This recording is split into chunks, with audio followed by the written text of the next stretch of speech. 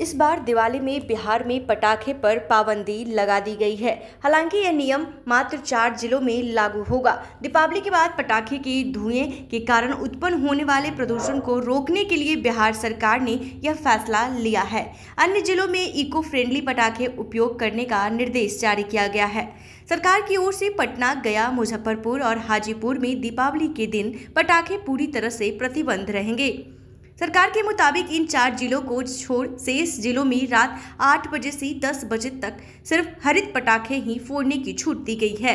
आदेश का उल्लंघन करने पर विधिवत कार्रवाई की जाएगी। इसके साथ ही पटना जिला प्रशासन को पटाखे बिक्री पर सख्त निर्देश जारी किया गया है।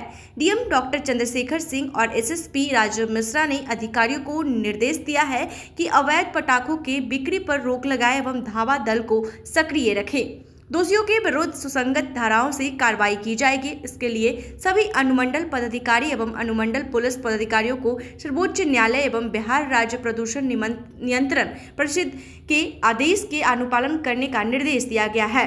बिहार सरकार ने इस संबंध में नागरिकों के लिए अति आवश्यक सूचना जारी की है। सर्वोच्च न्यायालय के ज़रिए रीट याचिका संख्या सात सौ अट्ठाईस बटे ज़ीरो एक पाँच में उनतीस अक्टूबर दो हज़ार इक्कीस के एवं राष्ट्रीय हरित अधिकरण एनजीटी प्रधान पीठ नई दिल्ली के मूल आवेदन संख्या दो सौ उनचास बट्टा बीस के पारित आदेश के एक दिसंबर दो हज़ार बीस के आलोक में राज्य के चार नगर निगम क्षेत्र पटना, गया मुजफ्फरपुर एवं हाजीपुर, जहाँ बीते वर्ष वायु गुणवत्ता सूचकांक ए क्यू आई बहुत खराब रहा।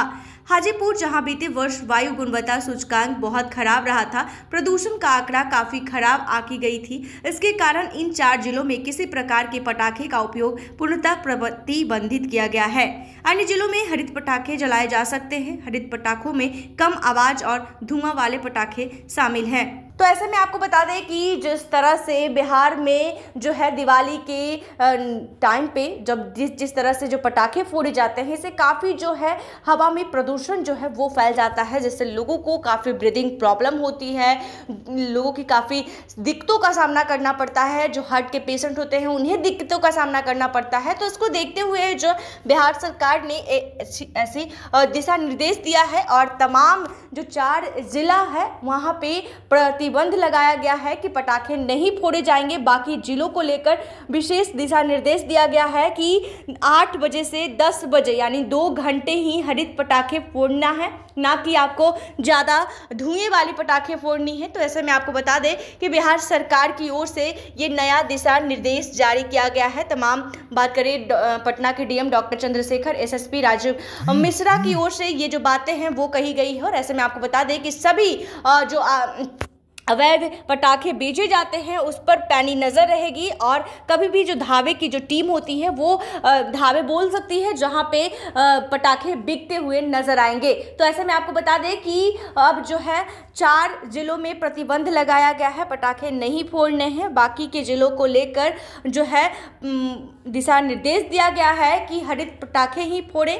ऐसे में आपको बता दें कि जिस तरह से चार जिलों में ये लागू हुआ है कि पटाखे नहीं फोड़ने हैं, ऐसे में आपको बताते चले कि पटना गया, मुजफ्फरपुर और हाजीपुर में दीपावली के दिन पटाखे पूरी तरह से प्रतिबंधित रहेंगे।